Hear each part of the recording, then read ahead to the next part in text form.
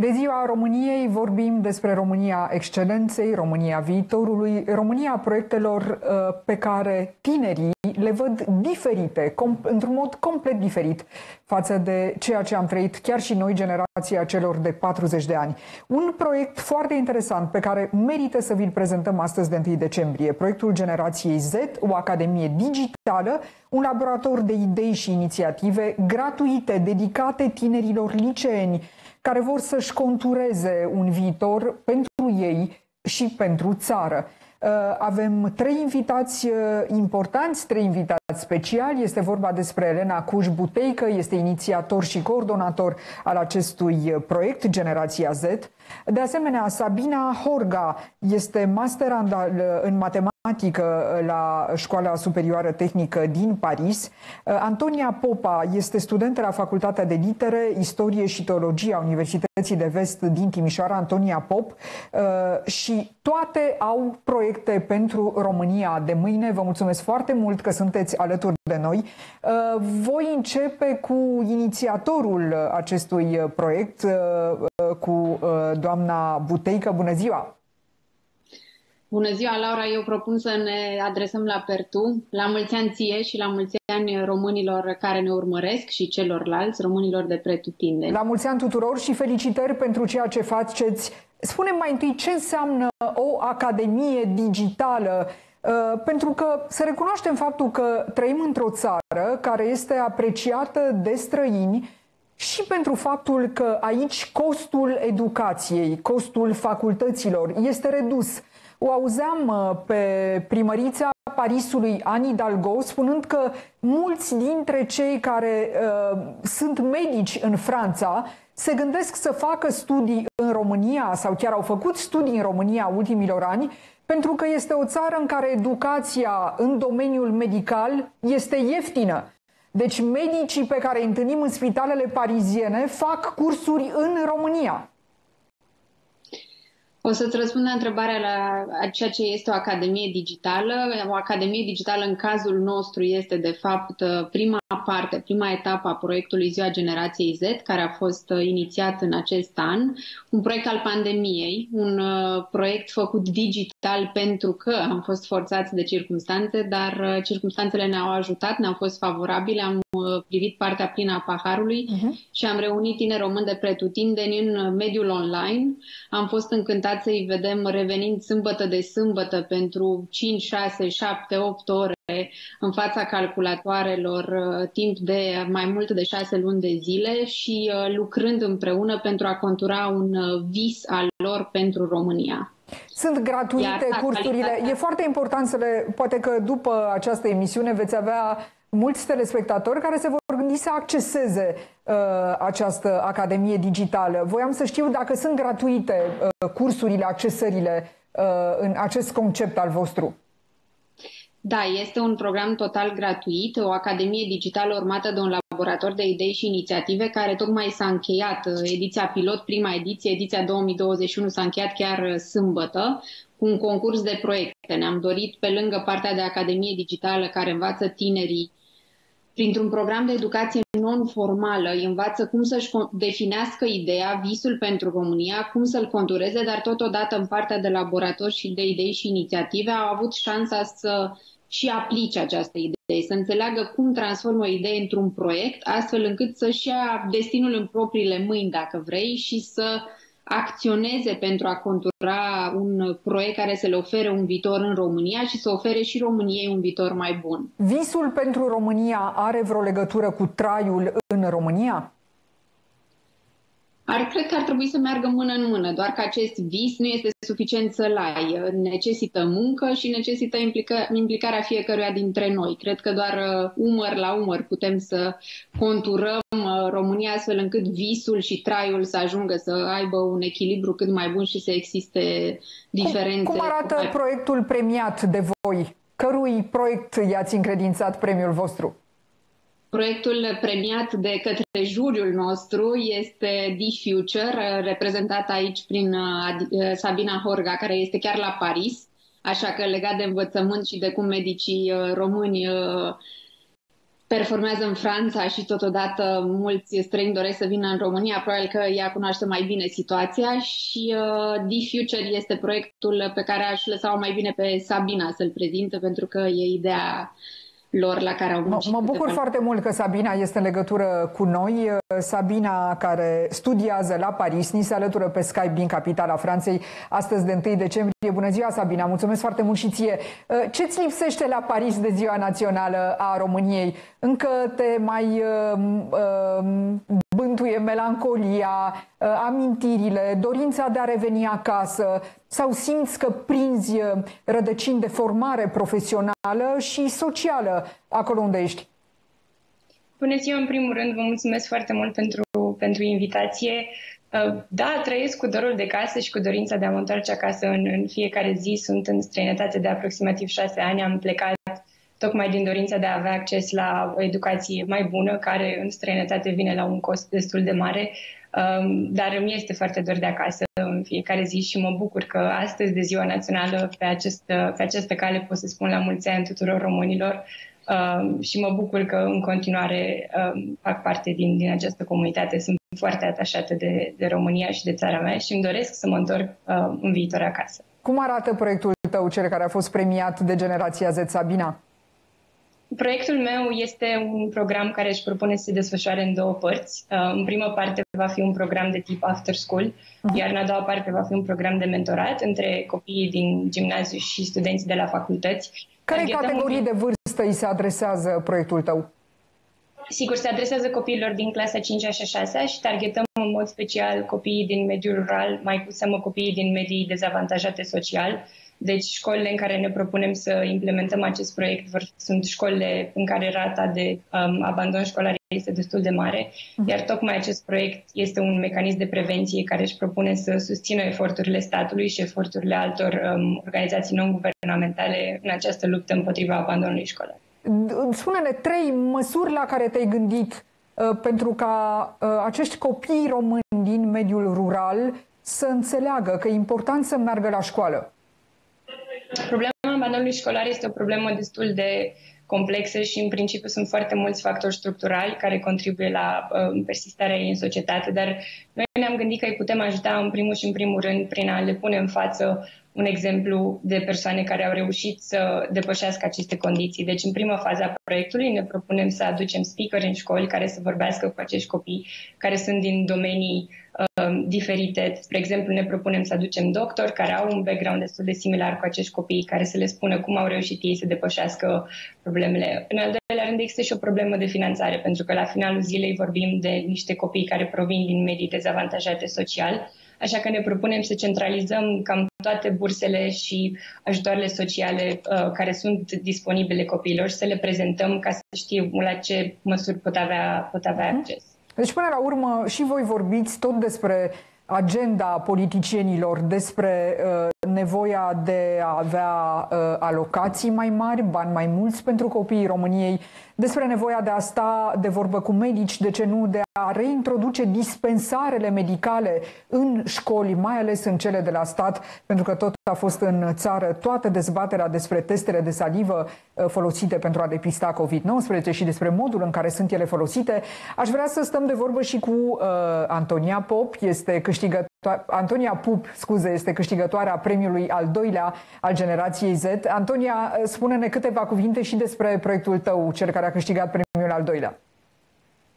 În primul rând vreau să vă urez tuturor la mulți ani și la mulți ani binecuvântați României. Proiectul nostru nu vorbește despre, uh, despre agenda politicienilor, ci despre ceva care de multe ori trece razanțele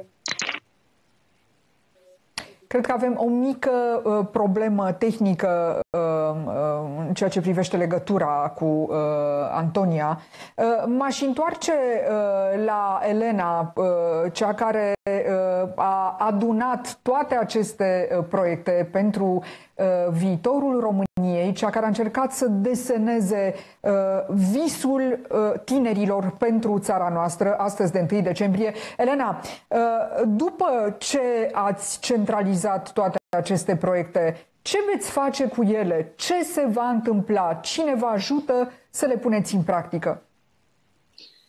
Aș începe puțin mai devreme. Proiectul în sine a fost gândit pentru că ne-am dorit să conturăm împreună cu tinerii Z România aceasta în care toată lumea spune că tinerii trebuie să rămână sau să se întoarcă. Dar nimeni nu i-a întrebat cum arată această Românie. Sunt inițiative, uh, sunt uh, acțiuni uh, individuale care se orientează în acest sens, dar nu avem uh, clar conturat această Românie utopică pentru moment a tinerilor români în care ei rămân și se întorc. Așa că Ziua Generației Z a pornit cu acest gând în, uh, în, înainte, iar proiectele am dorit tot, tocmai să le conturăm în cadrul laboratorului de idei și inițiative împreună cu ei, împreună cu mentori, creând, creând un um, dialog intergenerațional, fiindcă vrem chiar să se întâmple, vrem ca, chiar ca ei să le implementeze și fetele, atât Antonia cât și Sabina, reprezintă echipe care cu siguranță vor merge mai departe și vor uh, implementa aceste proiecte, pentru că fiecare inițiativă făcută spre binele României este o inițiativă făcută spre binele individual al celor care sunt implicați în ea. Așa că uh, susținem prin uh, partenerii noștri, prin mentorat și prin uh, echipa noastră care muncește la, ziua, la proiectul Ziua Generației Z, susținem aceste proiecte pentru a se întâmpla faptic în, în perioada imediat următoare. Încercăm să le facem legătura cu Antonia Pup. Vă reamintesc, este Uh, student uh, la Facultatea de Litere, Istorie și Teologie. Antonia uh, studiază în Cehia și a luat premiul al doilea. Vom stabili această legătură. Mai facem o escală la Paris, la Sabina Horga, cea al cărei proiect privind reducerea abandonului școlar a luat premiul întâi. Sabina, ne spuneai că îți e în continuare dor de țară, de părinți, Uh, de rădăcinile tale uh, românești, uh, te mai simți la, la vârsta ta și la peste 30 de ani după căderea comunismului în România, o tânără venită dintr-o țară, dintr-un, a unui fost bloc comunist, sau în momentul acesta crezi că șansele tale sunt egale cu ale tuturor tinerilor din Europa Occidentală? Cred că șansele mele sunt egale cu ale tuturor tinerilor din Europa Centrală, dar da, nu, nu pot să, să las în spate um, de unde vin. Da, sunt în continuare o tânără care vine dintr-un, dintr-un fost bloc comunist. Cred că ce am încercat să fac a fost să identific cum, cum pot să folosesc asta um, în, în, în scopuri nobile. Spre exemplu, în cam toate țările din, din Europa comunistă avem um, avem cunoștințe extensive despre matematică, deci cumva științele exacte au fost văzute ca fiind principala manieră prin care oamenii ar trebui să, mă rog, să, să încerce să-și câștige traiul. Și atunci am făcut matematică la școală în România foarte serios, am făcut științe foarte serios și atunci când am venit aici în vest, unde cumva tinerii au fost taxați multidisciplinar și pe științe sociale, eu am avut acest avantaj față de ei, pentru că încă din clasa 5-a uh, profesorii uh, mă puneau să învăț matematică foarte bine și într-un mod foarte riguros. Și ție ți s-a spus, ești româncă, deci ești un bun matematician, pentru că voi în România faceți matematică în mod temeinic.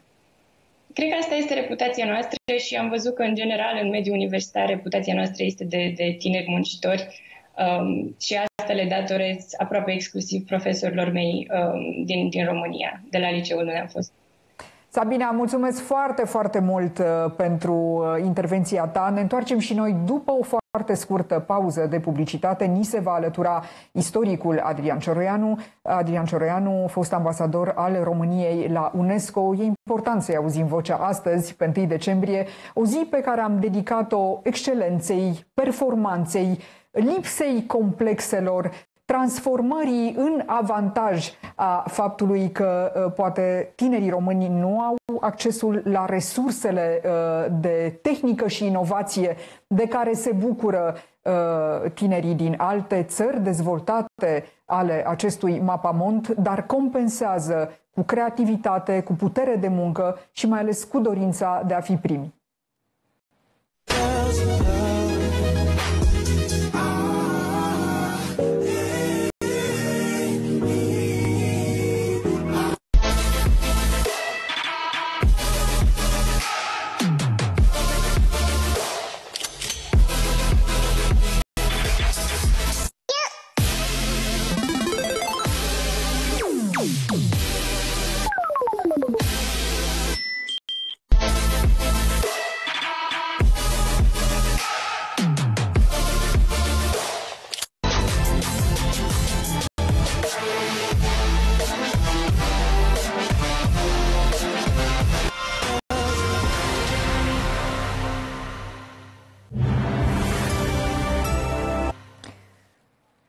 Decembrie, o zi marcată de mesaje politice de la cel mai înalt nivel. Premierul Nicolae Ciucă a adresat un mesaj video în care își exprimă uh, viziunea pentru România și uh, urările uh, către români.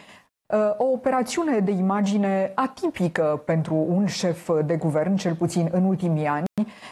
Și președintele Claus Iohannis a a avut astăzi uh, o inițiativă uh, pe care putem să spunem că n-a avut-o în ultimii ani, cu ocazia zilei de 1 decembrie, în cadrul unei ceremonii festive. Uh, șeful statului a ținut o cuvântare în care a onorat, a ținut să aducă un omagiu excelenței medicilor, profesorilor, reprezentanților societății civile. Am auzit și discursul șefului statului. Sunt niște schimbări de comunicare pe care le vom comenta în minutele următoare alături de istoricul Adrian Cioroianu, fost ministru de externe al României, fost ambasador al României la UNESCO. Bună ziua, domnule Cioroianu, mă bucur foarte mult să vă aud astăzi. Plăcerea e de partea mea. Bună ziua și la mulți ani tuturor. La mulți ani și dumneavoastră. Uh, România a intrat uh, astăzi, uh, a, a intrat într-o etapă de comunicare neobișnuită de la cel mai înalt nivel, premierul și președintele, afișând un tandem de, de muncă, un tandem comunicațional rar văzut în ultimii ani, adresează mesaje încurajatoare. Ce impact credeți că au aceste mesaje asupra românilor? Lectura mea este că se profesionalizează comunicarea politică, ceea ce e normal. Până la urmă, nu e rău că președintele și premierul uh, vorbesc aceeași uh, limbă. Asta dă un sentiment de, de siguranță pentru pentru cetățeni, în ciuda tuturor aventurilor politice recente care au debusolat foarte multă lume la noi, inclusiv dintre cei care l-au votat pe președintele uh, Iohannis, cei care au votat partidul domnului Ciucă. Dar, uh, sincer vorbind, nu e rău că președintele și premierul vorbesc aceeași limbă. Noi am avut în ultimii, hai să zic, 10-15 ani și situații în care între premier și Uh, președinte erau uh, polemici foarte dure, inclusiv în timpul în care eu eram ministru, președintele și premierul erau uh, Tom și Jerry. Așa încât, așa încât e, e bine că dau mesaje, hai să zicem, optimiste, într-o perioadă destul de tulbure pentru noi toți. Într-o perioadă în care se vorbește din ce în ce mai puțin despre patriotism, considerat o noțiune desuetă Uh, chiar și în Europa Occidentală. Nu s-a găsit însă o contrapondere, nu prea s-a găsit un cuvânt cu care să înlocuim patriotismul, dar istoria a identificat uh, de-a lungul uh, anilor patrioți buni și patrioți răi, oameni care au jucat roluri importante în stat, fără să fie neapărat bărbați de stat, oameni de stat, care în numele patriotismului au luat decizii juste sau injuste. Uh, România este o țară care mai vibrează la noțiunea de patriotism, domnule Cioroianu? O, da, o, da, vă garantez, în România este o mare piață pentru patriotism și sper ca de aia să nu profite numai partide de extremă. În Europa este o mare piață pentru patriotism. Întâmplarea face că uh, uh vă, vă salut, acum vă vorbesc din Bruxelles. Uh, cu totul întâmplător a fost o, mă rog, o reuniune a directorilor bibliotecilor naționale în aceste trei zile și uh, înainte de a lua avionul spre casă am ocazia de a vedea un uh, popor în care fiecare comunitate are propria sa noțiune de patriotism. Mai mult de atât, aseară, probabil ca și dumneavoastră, am urmărit dezbaterea din Franța între cei uh, uh, cinci sau uh, câți erau candidați ai dreptei Partidul Republican a avut aseară o ultimă dezbatere televizată. Fiecare dintre ei s-a prezentat ca fiind un patriot francez, uh, reprezentant al dreptei goliste. Deci este o piață în Europa. Problema care se pune este ca ea să nu fie confiscată din cauza agendei corectitudinii politice în care merg uh, toate partidele mainstream, ca această piață a patriotismului să nu fie confiscată de, de extrema stângă și de populiști de la, de la extrema dreaptă. Uh, pentru că, să știți, vom avea și, și patrioți de stânga. Uh, contururile sunt foarte diluate dintre stânga și dreapta de astăzi. Nu mai sunt contururile de acum 20 de ani. Deci este în România, da, este în România o, o piață și eu aș încuraja orice politician matur, orice politician rezonabil să vină cu propuneri concrete prin care să dovedească, să-și dovedească patriotismul. Altfel, dacă scriem pe ziduri uh, sau la curbele din țară diverse mesaje populiste, nu rezolvăm mare lucru, dar în același timp uh, am văzut că sunt uh, partide care prin asta au obținut 10% ușor în Parlament și neașteptat pentru mulți dintre noi, doar pe vorbe și, de, și pe promisiuni asupra unor lucruri greu realizabile. Deci ar fi cazul ca partidele principale, inclusiv cele din arcul uh, guvernamental, de la dreapta la stânga sau de la stânga la dreapta, să ofere propria lor versiune privind patriotismul, pentru că publicul, cetățenii așteaptă acest lucru. Domnule Cioreanu, percepția dumneavoastră de istoric asupra tabloului momentului. România are un prim-ministru general, fost general.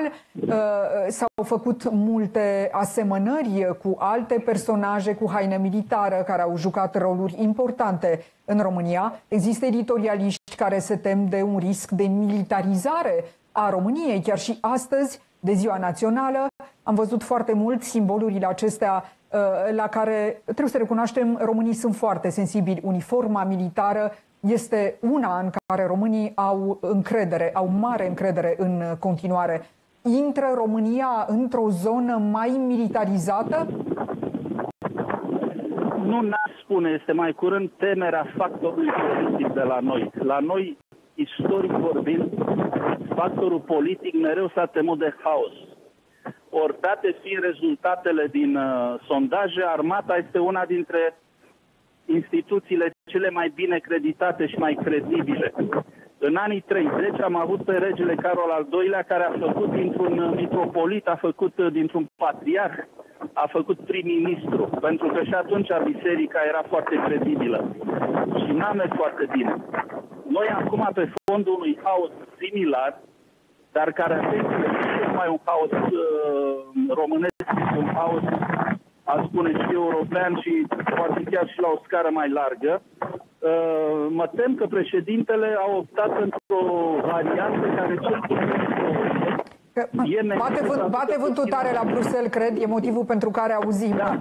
fiecare adiere. Imediat, imediat o, să, o, să, o să merg eu într-un, într-un colț mai liniștit Uh, sunt în centrul orașului. Deja, oraș deja vă auzim mai bine, deja vă auzim mai bine și era foarte Așa. interesant ceea ce spuneați. Vă rog. Da, deci, deci președintele Bănuiesc a optat pentru uh, un, uh, un uh, ofițer în calitate de prim-ministru, să ne înțelegem, e un uh, ofițer în retragere. E un ofițer în retragere care a spus că nu e interesat de politică, după care a revenit, dar cred că a revenit oarecum împins Uh, pentru că este vrând nevrând o persoană necontroversată, adică din toată galeria de prim-ministri pe care Partidul Național Liberal o putea propune, domnul Ciucă este unul dintre cele mai puțin controversate personaje. Culmea, tocmai pentru că nu a fost un, uh, să zicem, un, uh, un lider politic până acum, ci era mai curând văzut ca un ofițer, ca un om care și-a construit singur prin merit o carieră și cred că ăsta e unul dintre argumentele pentru care președintele Iohannis, după ce l-a susținut în mod evident pe domnul Câțu, uh, uh, a optat uh, în cele din urmă a optat, a optat pentru ofițerul, pentru domnul Ciucă. O ultimă întrebare, un citat din Ion Ioanice Brătianu, chezășia esențială a situației internaționale a unui stat este sănătoasa lui stare internă. Uh, domnule Cioroianu, uh, frecventați medii internaționale la cel mai înalt nivel. Percepția despre România în anul 2021 uh, s-a schimbat? S-a schimbat, s-a schimbat, dar, cum să spun, um, s-a schimbat în bine, asta e limpede, dar rămâne tarată de anumite clișee pe care noi continuăm să le emitem de la București. Dar să știți că asta nu vine de la Ionel Brătianu, asta vine, cred, de la de la istoricii grecii antice, de la Tucidide, de la războiul Galic al lui uh, Cezar. Întotdeauna slăbiciunea pleacă din interior. Și cred că și Confucius în China, acum 2000 și de ani, cât era uh, Confucius, uh, cred că și el spunea același lucru. Slăbiciunea mereu pleacă din interior.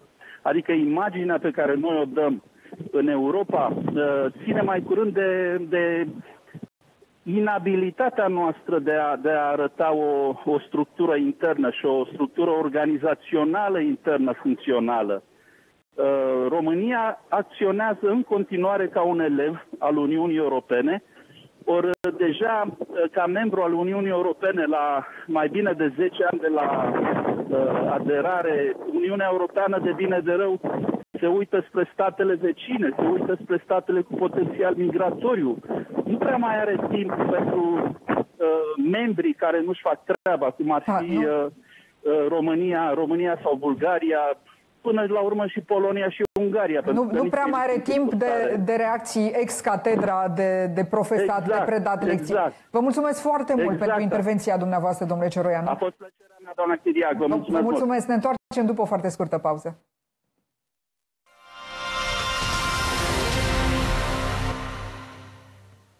Newspass la final, toate informațiile despre evenimentele dedicate Zilei Naționale a României pe B1 TV de la ora 15. Noi ne revedem mâine de la ora 13 la Newspass. O zi liniștită să aveți!